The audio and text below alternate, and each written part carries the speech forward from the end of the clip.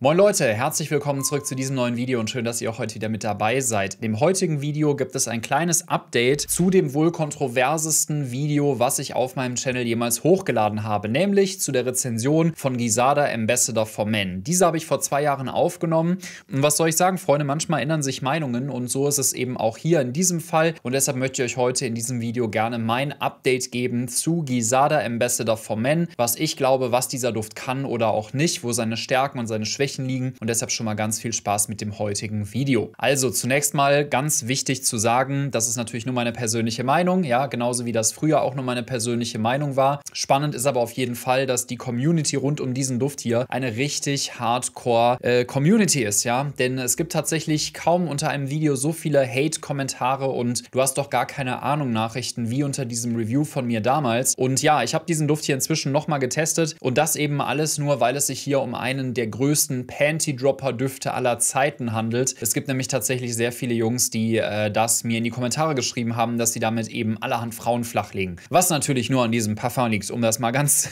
ganz simpel an dieser Stelle festzuhalten. Ja, es kann nur an diesem Duft liegen. Oh mein Gott, das ist auf jeden Fall so. Ich finde diese Argumentation immer noch ein bisschen fragwürdig, muss aber ganz ehrlich sagen, dass es sich hier im Grunde genommen natürlich um einen Mango-Sorbet-Duft handelt. Also um einen Duft, der sehr fruchtig ist, der sehr süß ist, der auf jeden Fall auch so eine gewisse punchige Synthetiknote hat hat, würde ich sagen. Ich habe das früher gar nicht abgekonnt, muss sagen, dass mir das früher einfach nur stechend süß synthetisch vorkam und irgendwie nicht gut und äh, hat sich auf meiner Haut auch nicht besonders gut entwickelt. Die gute Nachricht ist, dass sich für mich persönlich vor allen Dingen am Anfang dieser Duft hier nochmal deutlich gewandelt hat jetzt. Also jetzt blicke ich eben zurück auf diese Zeit und denke mir, hm, irgendwie war ich da glaube ich doch ein bisschen sehr kritisch am Anfang, denn ganz ehrlich, dieser fruchtige Auftakt gefällt mir bei diesem Parfum inzwischen sogar ziemlich, ziemlich gut. Und das nicht nur auf den Teststreifen, sondern auch auf meiner Haut, was damals nämlich ein absoluter Dealbreaker war, weil ich damals das nämlich getragen habe und ich konnte wirklich nicht mehr, weil es so erdrückend war für mich. Das ist heutzutage anders. Ich weiß nicht, ob die vielleicht irgendwas an der Formulierung geändert haben, aber, aber mein Eindruck heute ist auf jeden Fall, dass dieses Stechende deutlich zurückgegangen ist und du am Anfang einfach eine ganz schöne, süßliche, fruchtige Mango-Sorbet-Note hast. Ich finde auch tatsächlich, dass man Mango ähm,